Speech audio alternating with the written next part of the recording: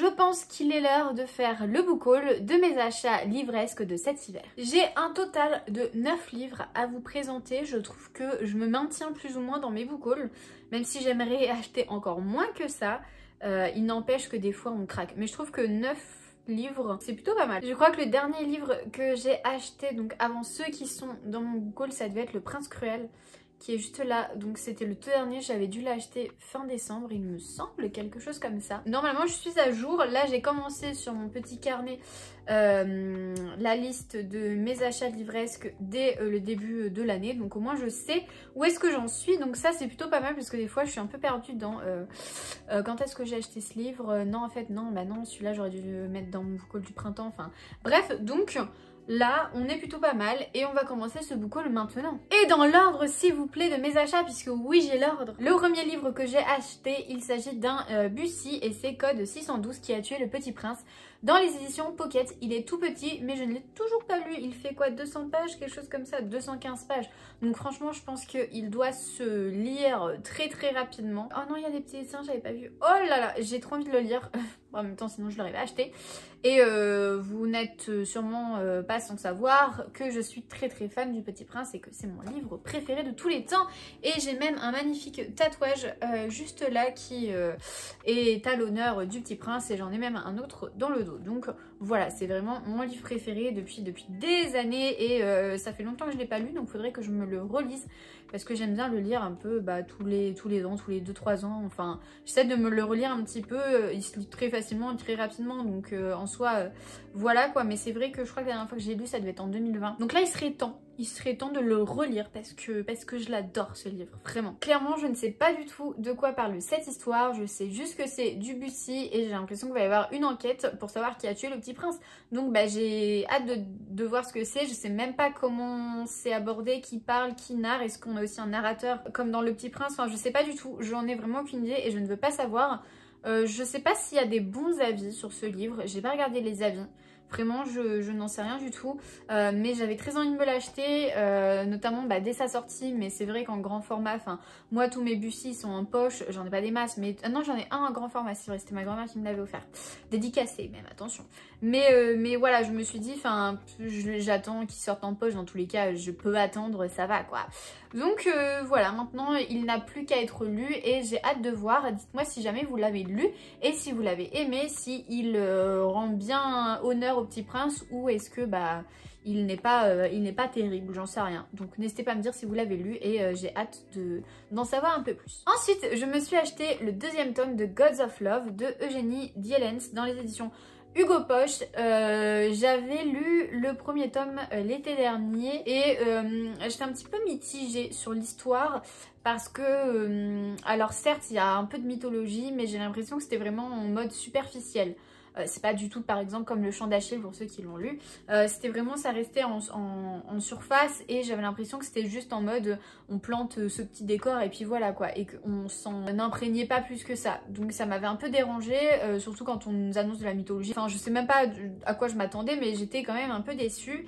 Et j'avais trouvé que le personnage masculin n'était pas si intéressant que ça. Et en fait, quand j'ai vu qu'il y avait un deuxième tome et qu'il était sur son frère, donc le frère du, du personnage principal du premier tome, je me suis dit, bah, ça peut être pas mal parce que franchement, on le voit un peu rapidement dans le premier tome et il avait l'air assez drôle. Et j'aime beaucoup les personnages drôles dans la romance. Je trouve que ça rajoute un truc mais incroyable, enfin dans, tout, hein, dans les livres, forcément j'aime quand il y a de de l'humour, du sarcasme et, de, et des pics et tout, enfin j'aime beaucoup. Donc euh, je me suis dit, bah pourquoi pas, peut-être que celui-là il va me il va me réconcilier un petit peu avec cette, cette duologie parce que je crois, je crois, il me semble que, euh, je crois avoir entendu parler qu'il y aurait un tome suivant, mais euh, finalement qui ne serait pas publié. Mais j'ai très hâte et donc on va suivre euh, Potos, je crois que c'est ça, ouais, Potos et, et Talia, voilà. Donc hâte de voir. Potos c'est aussi un dieu, donc j'ai envie de découvrir un petit peu, un petit peu plus sur cette histoire. Je me dis que ça peut être peut-être pas mal et euh, peut-être meilleur que le premier tome, je l'espère en tout cas. Ensuite, forcément, il y avait toute la hype autour, donc bah j'ai pas pu résister, même si je ne l'ai toujours pas lu, donc j'aurais pu attendre et résister encore plus, mais je me suis acheté Twin Crowns de euh, Catherine Doyle et Catherine Weber, ou Weber, je sais pas comment on dit, dans les éditions Bayard. Et euh, enfin, il est juste magnifique, il est juste trop beau. Mais je me dis, en fait, euh, je devrais peut-être attendre que le prochain tome soit pratiquement publié. Parce que j'ai peur, en fait, que ça me fasse comme tous les autres livres où je lis un tome et en fait, j'attends la suite qui est publiée un an après et, et où j'ai tout oublié l'histoire du premier tome. Donc euh, je sais pas, je sais pas comment, qu'est-ce que je vais faire. Bref, Twin Corns, je ne sais pas du tout de quoi il parle vraiment. Euh, je pense que ça parle juste de deux sœurs qui se battent pour avoir la couronne. Mais euh, la couverture est juste trop belle franchement. Et il paraît que les dorures elles s'effacent moi, pour le moment, elle ne s'efface pas, mais en même temps, je ne l'ai pas trop tripoté, donc il euh, n'y a pas lieu de s'effacer. Hâte, et n'hésitez pas à me dire s'il vaut sa hype ou s'il est un peu trop, euh, trop surcoté pour euh, pas grand-chose. Le même jour que Twin Crowns, j'ai craqué aussi pour un autre livre, et encore un autre. je vais vous montrer le deuxième après, enfin le troisième du coup. Euh, parce que euh, je sais pas, j'avais une folle envie d'acheter des livres, j'en sais rien. Je me suis fait totalement euh, entourlouper par Booksta parce que tout le monde en parlait sur Booksta, pas trop sur, sur TikTok je crois, mais tout le monde en parlait sur Insta donc je m'étais dit vas-y je les achète. Et je me suis acheté Absolu de Margot de Seine dans les éditions Big Bang, donc c'est le premier tome. Il est très beau, il coûte quand même 25 euros juste pour avoir une couverture en toc-toc et euh, une petite image un peu lambda on va dire euh, sur euh, la couverture intérieure, je sais pas trop comment on l'appelle. Mais bon bref, vu comment tout le monde en parlait, tout le monde avait l'air de dire que c'était incroyable vraiment, très mode mood Hunger Games, dystopie, tout ça, enfin un peu ça nous fait replonger à l'ancienne donc forcément je m'étais dit bah vas-y, je suis une pigeonne donc je l'achète, je l'ai toujours pas lu donc j'aurais pu attendre encore avant de l'acheter. Et je sais pas pourquoi mais j'étais persuadée que euh, il y avait que cette édition là qui existait genre en mode euh, toc toc. Et donc si j'avais su, je pense que j'aurais pris juste le, brochet normal, mais je sais pas pourquoi, j'ai vu que celui-là et j'ai pas vu le, le, relier. Enfin le, le brochet, j'ai vu que le relier, donc bah j'ai pris le relier. Alors que de base, j'avais pas envie d'acheter forcément le relier parce qu'il est pas non plus, enfin, il y a rien d'incroyable je trouve sur la couverture. Elle est pas, euh, elle est pas incroyablement ouf quoi. Donc euh, voilà. C'est juste une petite anecdote euh, par-ci par-là. Mais euh, bah, je sais pas trop quoi dire sur ce livre parce que je n'en sais pas plus. J'avoue que j'ai j'ai pas trop regardé le résumé, j'ai pas trop écouté les résumés, juste les avis un peu des gens.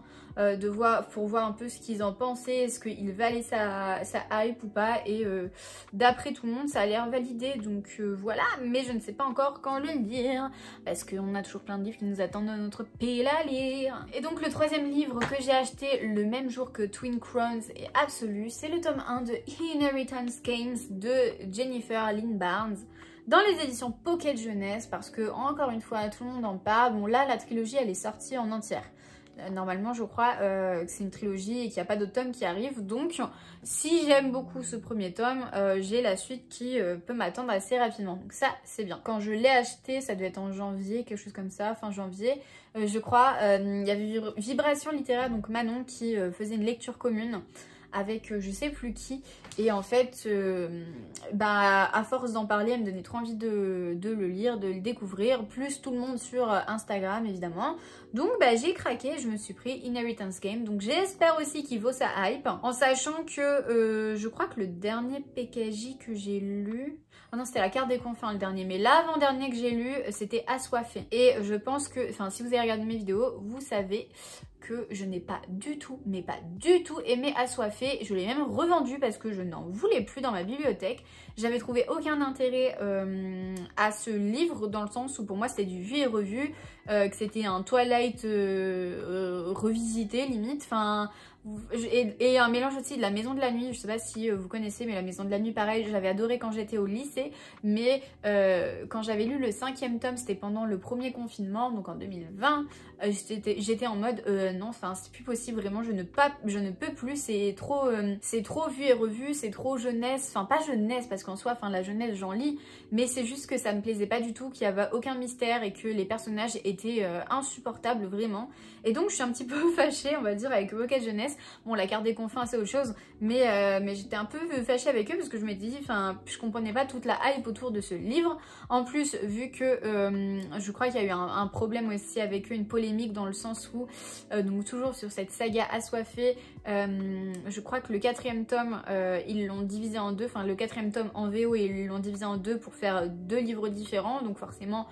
faire bah, monter les prix du livre, enfin au lieu d'en payer un, vous en payez deux.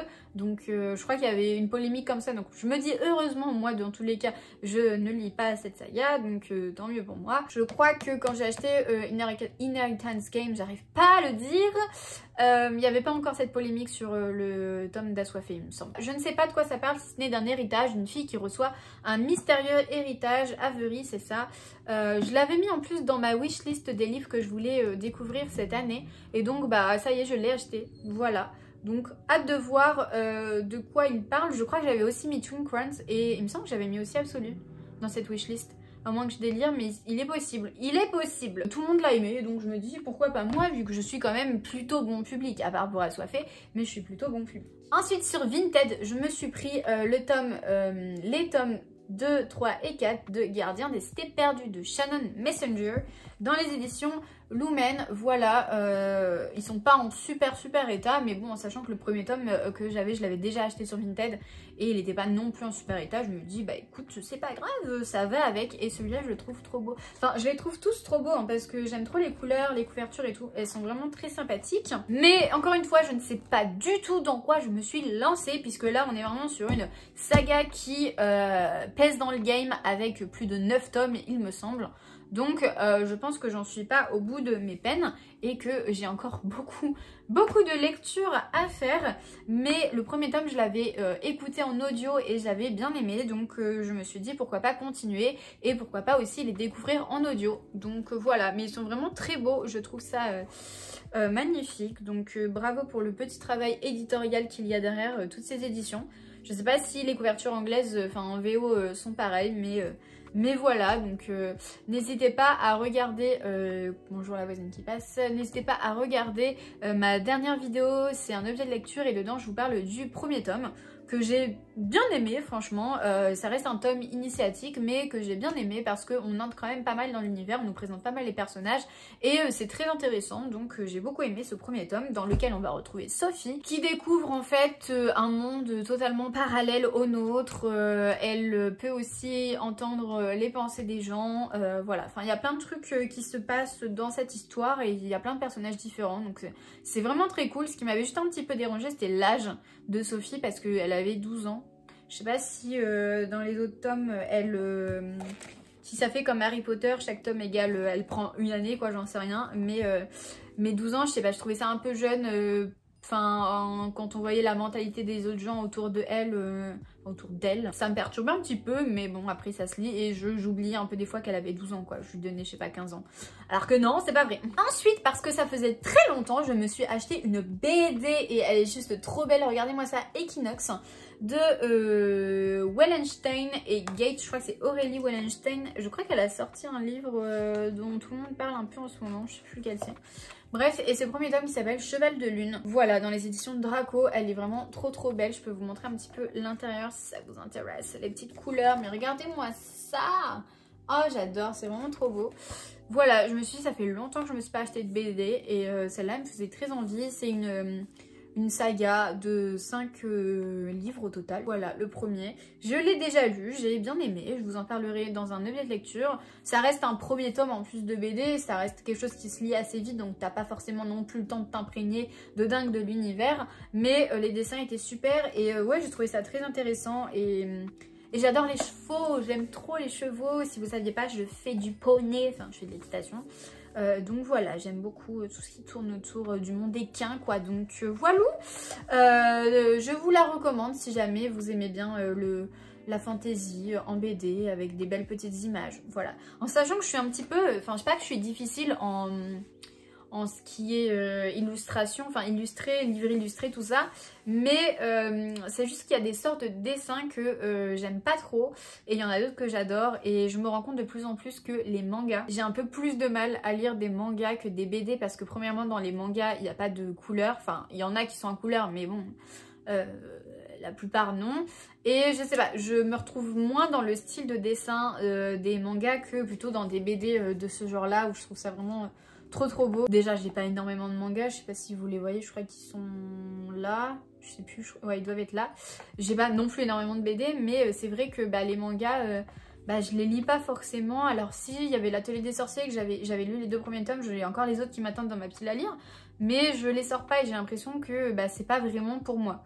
Et c'est ça que je me force à lire des mangas. Par contre, bah, les BD, ça reste quand même un plaisir. Ça reste cher, mais au moins je préfère mettre 12 euh, euros dans quelque chose qui va se lire aussi vite qu'un manga, je pense, mais avec de la couleur et vraiment, je viens de postillonner sur ma BD Non. Avec des couleurs euh, et des dessins qui me plaisent beaucoup plus, voilà. J'ai pas grand chose à dire d'autre, euh, enfin comment je pourrais vous résumer cette BD En gros, dans ce livre, euh, on va suivre donc ces quatre filles. Et quand il y a la pleine lune, elles se transforment donc en enfin tout le monde se transforme en animaux, dont elles qui vont se transformer en euh, chevaux parce que euh, ce sont euh, leurs animaux de transformation. Et en fait, un jour, la Lune, elle va être victime d'une collision céleste, nous dit-on, et elle va éclater en mille morceaux et il va se passer un peu des dérèglements au niveau de la transformation et des pouvoirs des, gens, de la population, tout ça. Et voilà, ça va être très intéressant. On a même des petites fiches des petites fiches de renseignements sur chaque, euh, chaque, cheval. Oh, c'est dur à dire. Sur, oh, chaque cheval. Euh, par exemple ici, euh, cheval étoilé, voilà, morphologie, allure, fréquence d'apparition, pouvoir, région géographique, pierre de naissance, personnalité. Enfin, je trouve ça, je trouve ça super. Ça rajoute un petit truc à l'histoire. Regardez celui-là, il est incroyable.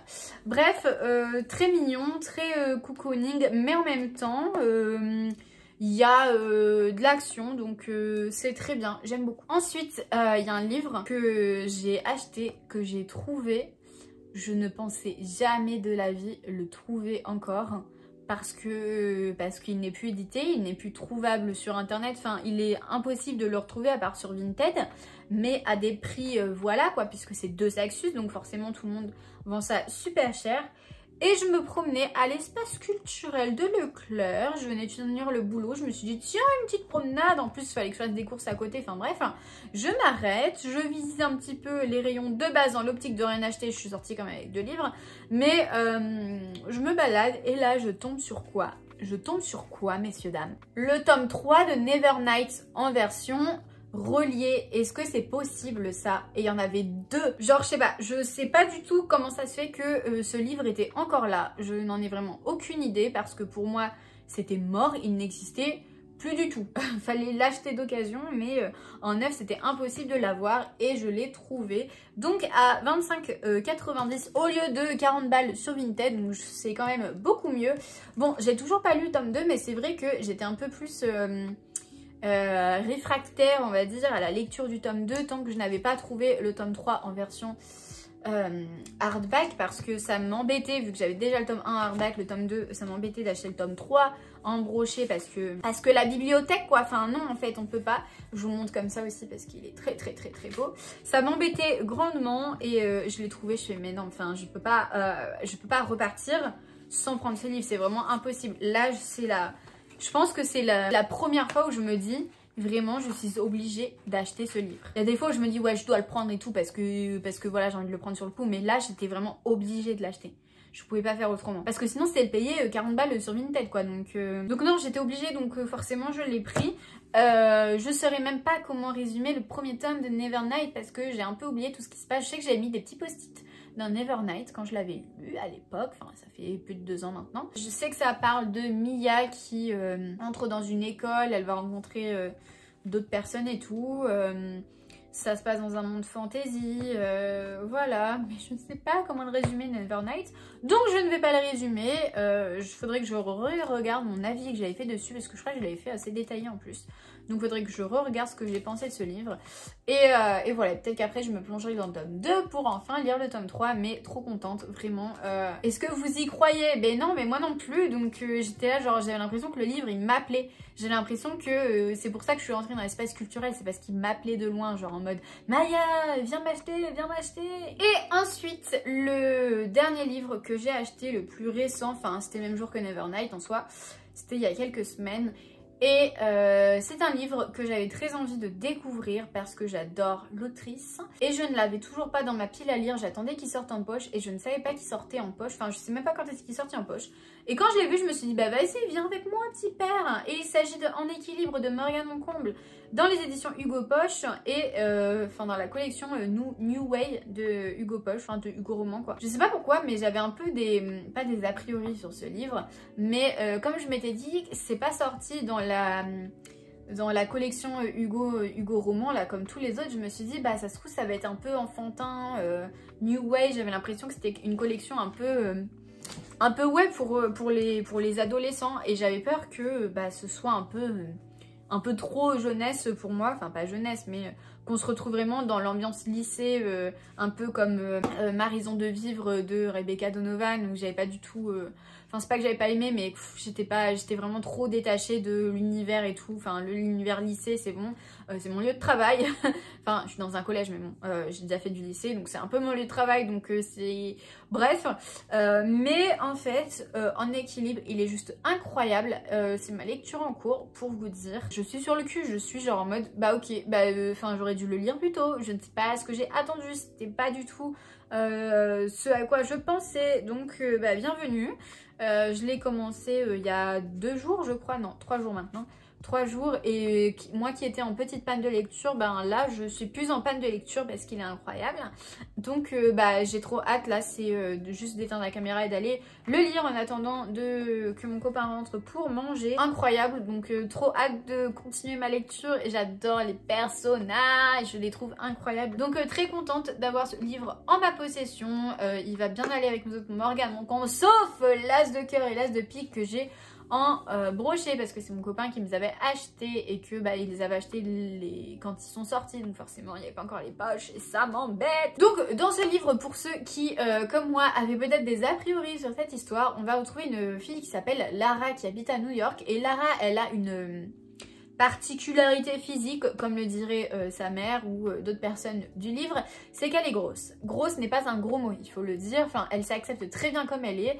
Euh, grosse n'est pas du tout un gros mot pour elle. Et Lara, elle fait aussi du cirque. Le cirque, c'est sa passion depuis, depuis qu'elle est assez jeune. elle l'en fait avec sa sœur, sa sœur jumelle qui s'appelle Amelia.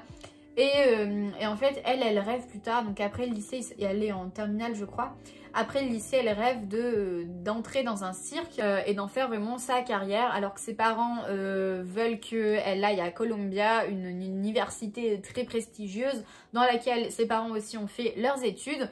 Donc euh, voilà un petit peu, Lara elle est un peu partagée en sachant aussi qu'elle est la meilleure de la classe, elle est très talentueuse dans tout ce qu'elle fait, elle a des bonnes notes à l'école, voilà, mais elle n'est pas forcément la première de classe, elle n'est pas forcément la meilleure puisqu'il y a aussi Kazé qui euh, se bat un petit peu avec euh, Lara pour euh, la première classe, pour la première classe, waouh, pour la première, la première place du meilleur de la classe. Bref, hein, vous avez compris. Et donc, de base, ils peuvent pas se piffrer, enfin, c'est pas qu'ils peuvent pas se piffrer, c'est juste, bah, ils sont vraiment en compétition l'un et l'autre. Ils se parlent pas vraiment, ils vont pas devenir amis, c'est vraiment genre chacun pour soi jusqu'au jour où Lara va demander quelque chose à caser et euh, quelque chose va commencer, on va dire, entre les deux. Ils vont commencer à euh, eh ben, euh, faire connaissance l'un avec l'autre. Voilà un petit peu ce qui se passe dans cette histoire. Je vous dis pas plus parce que je pense que c'est déjà assez suffisant, mais juste incroyable, vraiment. Enfin, je m'attendais pas, je m'attendais pas à ça en entendre une histoire, donc forcément ça ne peut que me plaire.